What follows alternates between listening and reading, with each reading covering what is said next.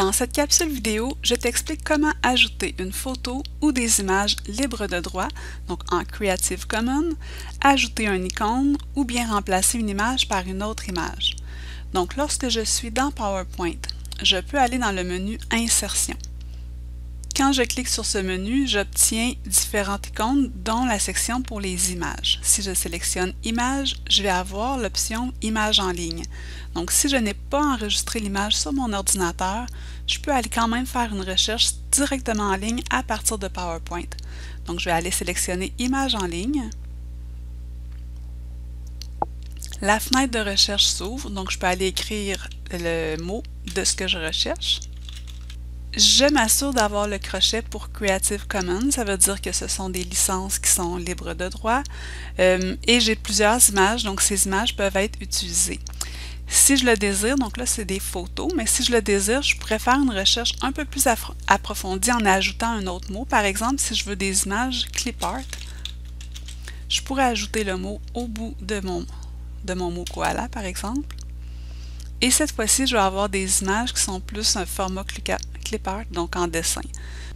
Donc lorsque j'ai fait mon choix, je peux aller l'ajouter. Donc je sélectionne et je fais insertion. J'ai mon image qui s'est ajoutée. On voit dans le bas la source de mon image. Donc si je le désire, je peux la mettre un peu plus petit ou, ou la mettre à la fin de mon document comme référence. Dans le menu euh, Accueil, idée de conception, cette fois-ci, la fenêtre s'est ouverte automatiquement. Donc, quand je suis dans le PowerPoint en ligne ou bien PowerPoint 365, dans le menu Accueil, j'ai les idées de conception et je peux voir à droite différents modèles qui vont m'ajuster le tout en fonction de mes images. Donc, on est capable de faire une belle mise en page. Si j'ai une image que je désire modifier, par exemple cette image-ci, finalement je, ne la veux pas, ce que je peux faire, je peux euh, l'effacer et recommencer ou bien cliquer avec le bouton droit de la souris, sélectionner changer d'image et aller choisir à quelle source je vais avoir mon image. Donc par exemple, à partir des sources en ligne, qui est ma recherche en ligne, je peux refaire ma recherche, sélectionner l'image qui me convient et faire insertion.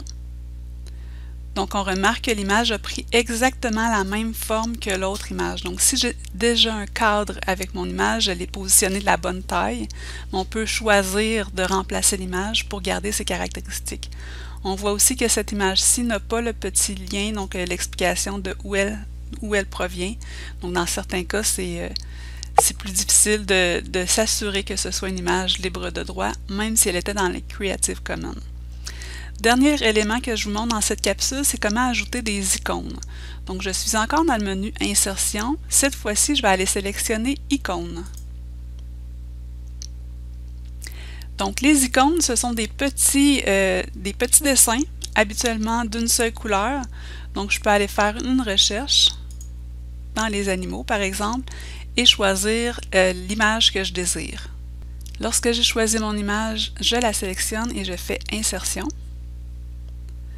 J'ai mon image ici, donc on la voit un peu difficilement. Elle est noire. Si je le désire, je peux changer ma couleur d'image. Donc pour changer ma couleur d'image, ce que je vais faire, c'est que je sélectionne mon image, je vais dans les formats du graphique et je vais aller choisir la couleur de remplissage. Par exemple, ici, je veux mettre un serpent rouge pour dire que c'est le prédateur et je vais aller le positionner et le réduire dans l'espace qui convient. Donc, on peut ajouter plusieurs icônes. Il y a déjà une banque d'icônes qui peut être retrouvée. Sinon, on peut aller toujours insérer une image à partir des images euh, sur Bing.